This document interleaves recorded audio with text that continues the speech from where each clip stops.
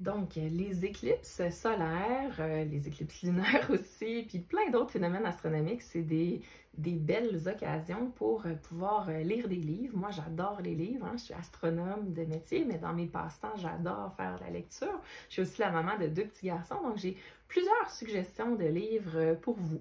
Donc, des livres spécifiquement sur les éclipses solaires, moi, j'en connais pas en français. Faire une petite suggestion un peu plus tard en anglais. Mais il y a beaucoup de bons livres sur la Lune, la Terre, le Soleil. Donc, peut-être dans, les, dans ceux que j'aime beaucoup là, pour les plus jeunes, euh, la série euh, Les questions de Justine, Le jour et la nuit, comment ça marche. Très beau livre là, qui mélange un peu euh, une petite histoire avec d'informations plus documentaires. J'aime beaucoup aussi la nouvelle série Moi. Donc, il existe Moi la Lune, mais je sais qu'il existe aussi Moi la Terre, Moi le Soleil. C'est des livres qui sont super bien illustrés puis qu'on trouve un petit peu partout ces temps-ci. Euh, si je ne me trompe pas, celui-là, il évoque même les éclipses. Il parle des phases de la Lune, des lunes dans le système solaire. Et puis, euh, il me semble qu'il y a une, petite mention des éclipses euh, vers la fin du livre, donc ça peut être intéressant. Euh, j'aime aussi, c'est sympathique, la petite série euh, Les explorateurs de l'espace. Il existe un livre sur la Lune, la Terre, puis aussi euh, les étoiles. Je ne sais pas s'il y en a d'autres. Moi, c'est ceux-là que j'ai. Ça, c'est l'histoire d'un grand-papa qui amène ses petits-enfants voyager de manière imaginaire. Euh, bon, il y a des petites erreurs des fois côté astronomie, je vous invite à essayer de les trouver, mais ça, reste sympathique quand même de voyager avec euh, Lily et Sam, euh, les frères et sœurs, et leur grand-papa. plus, peut-être un petit peu plus vieux, là, il y a des très beaux documentaires ici, comme celui-ci sur la Lune. Donc là, on va avoir vraiment de l'information plus détaillée. Si vous, travaillez avec des enfants plus vieux, si vous êtes vous-même un enfant plus vieux, euh, ça peut être intéressant. Vous voyez dans la plupart des livres qui parlent de la Lune, évidemment, ils vont parler euh, des éclipses. Donc on voit ici une image d'une éclipse solaire. Si vous comprenez l'anglais, il y a un, livre qui a été conçu par mes collègues américains, euh, Andrew Frackney et Dennis Chatz, qui sont vraiment euh, des, astronomes, éducateurs chevronnés, qui ont écrit ce livre When the Sun Goes Dark, donc quand le soleil devient sombre, qui est l'histoire euh, de grands-parents qui reviennent d'un voyage pour voir une éclipse et qui racontent ça à leurs petits-enfants. Euh, peut-être que je le conseillerais plus aux gens qui travaillent avec les enfants parce que, bon, a des, il y a des belles images, il y a vraiment beaucoup de textes pour les plus jeunes. Euh, mais peut-être que les images s'adressent peut-être aux plus jeunes, mais quand même, ça donne vraiment des bons trucs sur comment on peut enseigner les différentes notions euh, d'astronomie euh, qui sont en lien avec les éclipses. Là. Donc, c'est peut-être plus pour les éducateurs, les éducatrices que pour les jeunes eux-mêmes. un livre que j'adore de mon collègue Pierre Chastenay, vraiment plus général sur l'astronomie en général, surtout si vous avez des gens dans votre entourage ou si vous-même, vous voulez commencer à faire de l'astronomie. C'est un livre pour enfants, mais franchement, moi, je le trouve vraiment bien aussi pour les adultes. Il donne vraiment toutes les bases de euh, comment faire pour devenir astronome amateur, c'est-à-dire comment faire pour commencer à apprécier le ciel.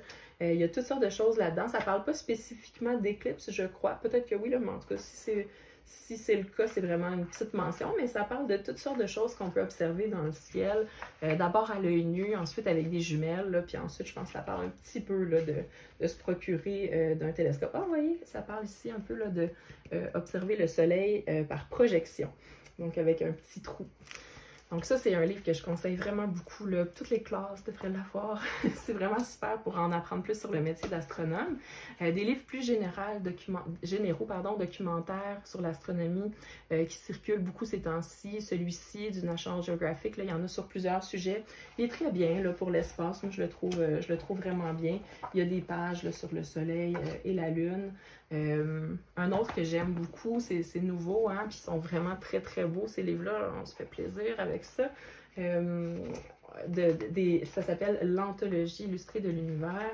Inquiétez-vous pas, hein, je vais vous mettre la liste des images, mais ça parle entre autres du soleil, de la Terre. Vous voyez qu'il y a vraiment comme une partie qui est sur les éclipses solaires totales, mais tu sais, ça parle de plein d'autres sujets aussi, là, euh, voilà, grande tache rouge de Jupiter, Triton, un satellite d'un système solaire, la Voie lactée, ça parle des amas globulaires, des trous noirs, des nuages de Magellan. C'est vraiment super, ce livre-là, Anthologie illustrée de l'univers.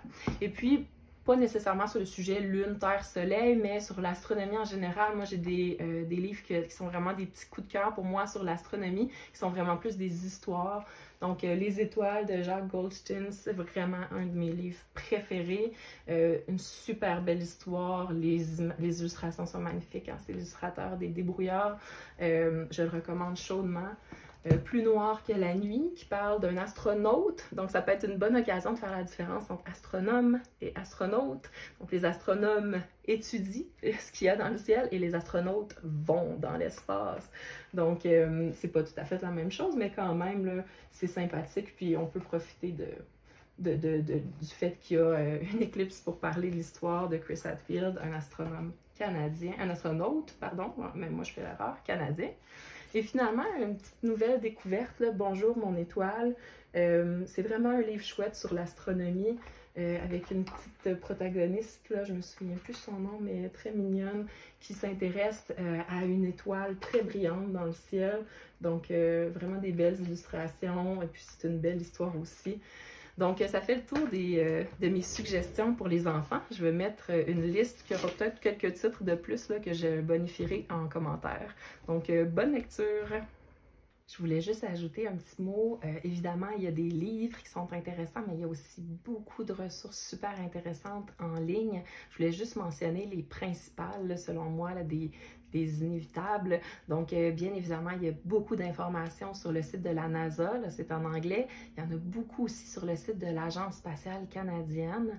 Euh, mais euh, pour les jeunes, une, recommandation coup de cœur que j'ai, c'est vraiment le site À la découverte de l'univers, où là, c'est vraiment spécifiquement fait pour les Canadiennes et Canadiens qui travaillent avec les jeunes et les moins jeunes. Là. Et puis, il y a toute une belle section sur les éclipses qui est vraiment intéressante.